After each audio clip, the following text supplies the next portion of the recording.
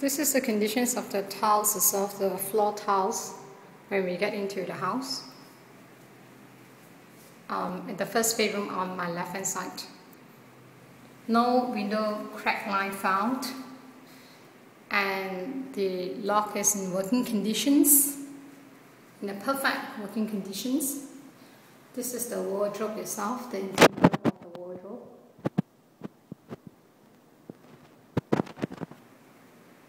The safe doesn't belong to us, it belongs to the tenant. So you can ignore the safe.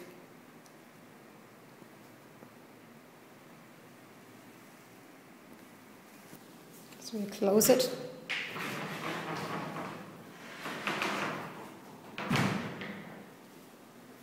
That is the interior.